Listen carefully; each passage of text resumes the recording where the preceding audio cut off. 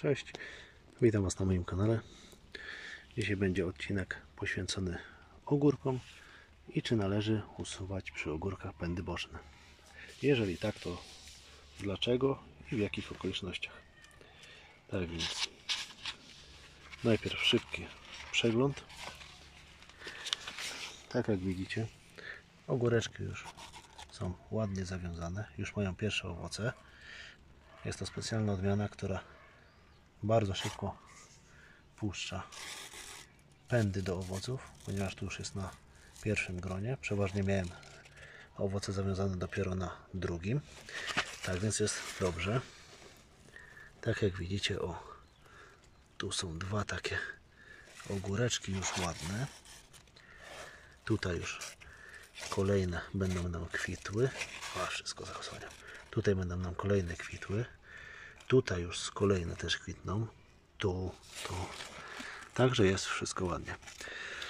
No i teraz wracając do tematu odcinka, czy urywamy pędy boczne.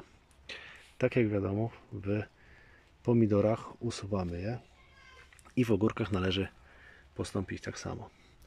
Tak więc tutaj mamy pęd boczny i go wyłamujemy.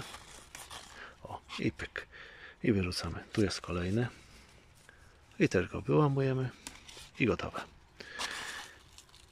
Należy to robić, ponieważ w przypadku gdybyśmy tego nie zrobili, roślina nie będzie nam zawiązywać prawidłowo owoców. O, tak jak widzicie, tutaj został taki pęd jeden duży, tutaj drugi, tu jest trzeci i na tym ogórku jeszcze nie ma owoców.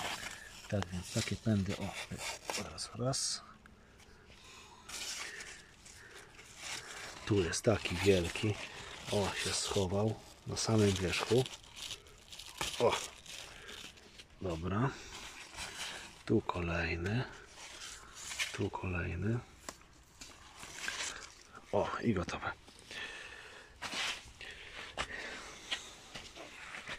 Tu mamy kolejny ogórek. O, i tutaj jest. Tutaj pędy boczne były poobrywane i już są ogóreczki. Tutaj został jeden taki schowany. I już gotowe. Tutaj. Tu jest wszystko dobrze, tylko widzę, że sznurek źle idzie. Dlatego potrafię, poprawię już za wizją.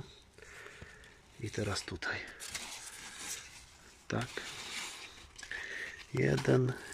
Tu jest oberwane, oberwane, oberwane. Tak, tak więc mamy oberwane pędy. Nie doprowadzamy do takiego stanu, że tych pędów jest w naszej roślinie nie wiadomo jak dużo. I teraz tak, takie pędy należy obrywać, ponieważ te pędy boczne za jakiś czas zaczną nam obsychać i przez to, że one będą nam obsychać zawiązki owoców, czy z kwiatami, czy takie owoce jak tam były na początku, przy tym pierwszym krzewie, będą robić się żółte i będą nam spadać. Tak więc w przypadku, gdy nie uwerwiemy tych wilków, one będą nam zasychać i roślina będzie zrzucać wszystkie owoce. I im mniejsze te zawiązki pędów będziemy usuwać, tym lepiej. Ponieważ roślina przez krótszy czas będzie inwestować swoją siłę w to, żeby te pędy boczne nam się rozrastały. Co ważne, też o tym mówiłem już w filmie, dlaczego prowadzę ogórki na jeden pęd, ale nie dopuszczamy do zagęszczenia tutaj pędów, czy to będą właśnie te wilki, ponieważ taki bardzo gęsty ogórek nie wyda nam owoców.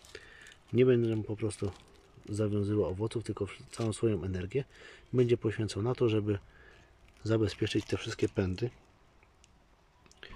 pędy, żeby je wyżywić i żeby one rosły jak, naj, jak, naj, jak największe. Tak więc mam nadzieję, że ten film był dla Was pomocny.